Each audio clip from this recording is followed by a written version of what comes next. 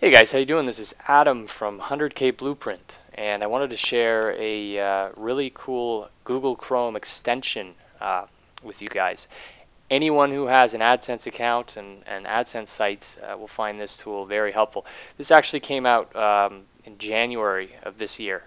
Uh, I haven't started using it regularly till till recently, but uh, really helpful uh, for anybody who is who has AdSense sites set up and, and constantly sort of logging in and out of their AdSense uh, dashboard to check stats. It's called the AdSense Publisher Toolbar. And it works with the uh, Chrome browser. Essentially what it does is uh, it just gives you a, uh, a, snapshot of your AdSense earnings. This actually pops up in the top right hand corner of the browser.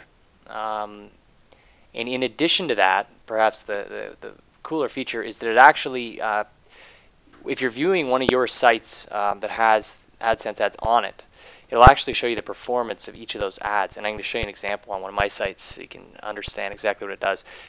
Now to set it up, uh, really easy, just like any other extension. Um, you can, it's, it's a free, uh, free extension, and you can download it from the uh, Chrome Web Store.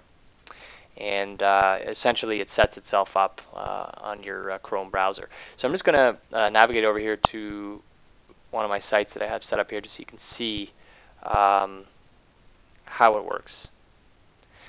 Um, on this particular example, we have a couple of, of uh, ad units here. And you can see what it's actually showing us here is the statistics for, for that particular, uh, for each ad. So today, yesterday, and the last seven days, we can actually look at uh, the stats for those.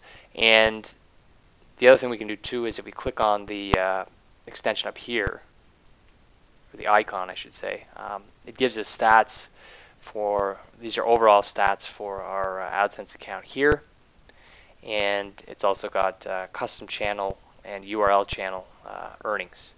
So for any of you who are constantly logging into your AdSense dashboard, uh, this is a, an extension for you.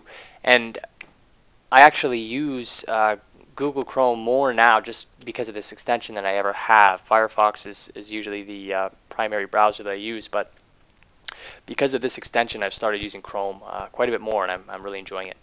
Hope that was helpful to, uh, to some of you out there, and uh, wish you all the best.